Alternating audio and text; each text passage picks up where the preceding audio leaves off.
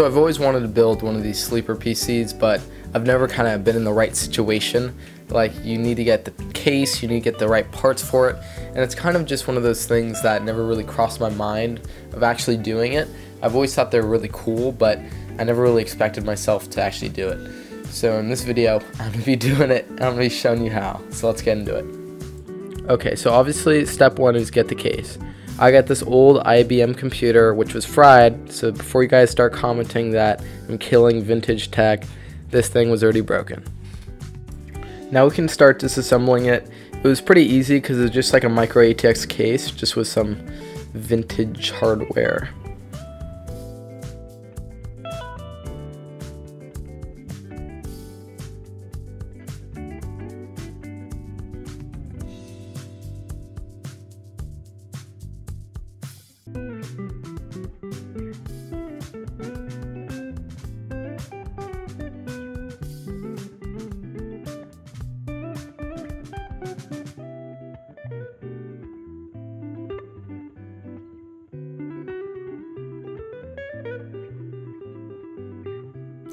The only problem I ran into was that the original DVD player was not gonna uh, fit my power supply because it was so big.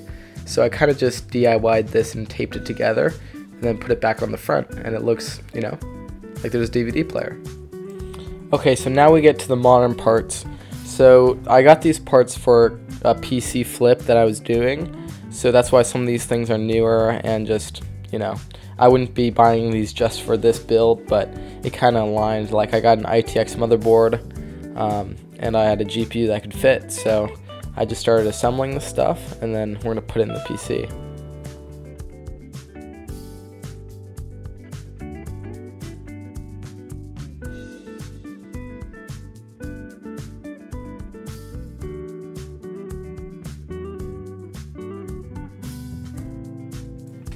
I got really lucky because this old PC case is actually uh, ITX and uh, micro ATX ready. So I was just able to just put it in and uh, screw it in without having to do anything. Except my original GPU didn't fit. So I had to switch to this 1070 uh, instead of a 1080.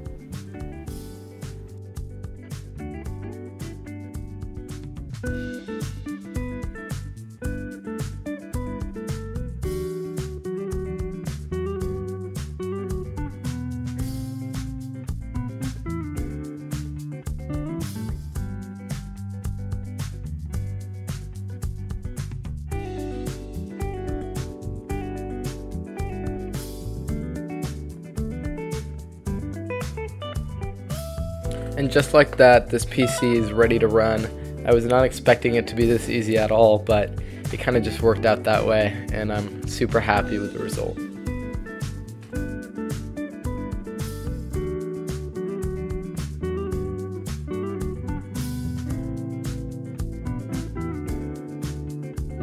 I hope you guys enjoyed this video, and I'll see you guys next time.